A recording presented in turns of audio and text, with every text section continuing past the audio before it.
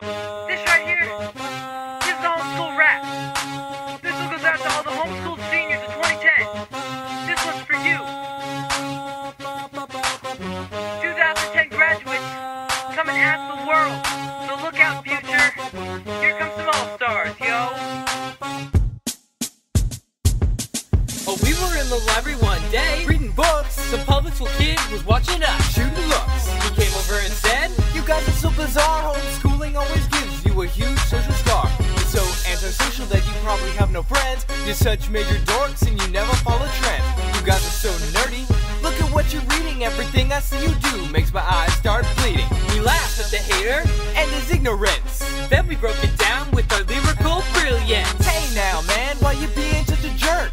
Listen now, cause we're gonna make you go how we do it at home. At home. And you public school kids, we always own. Always on. This is how we do it at home. This is on. And we're about to show you how it's done. How it's done. Homeschooling doesn't make you socially damaged. We got so many homies, they can hardly be managed. Now you say our clothes are practically illegal. Well, check it out, yo, they're from American Eagle. You think that cursing makes you sound like a dope?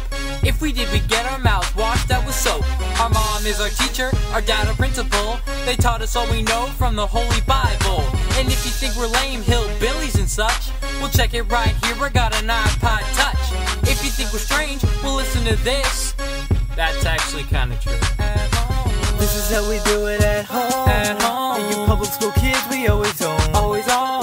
This is how we do it at home. This is on. And we're about to show you how it's done. How it's done. We wake up in the morning, a little past 12, and straight into our school we begin to delve. We start with physics, the sciences you see, and on certain days we go to BCC.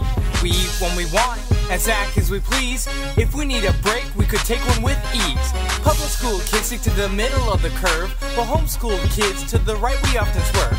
For homeschoolers, academics are a breeze. We always get good scores on the SATs. So don't be hating on the homeschool family. We deserve respect, and I'm sure you now agree. This is how we do it at home. At home. And you public school kids, we always own. Always on. This is how we do it at home. This is on. And we just went and showed you how it's done. How it's done.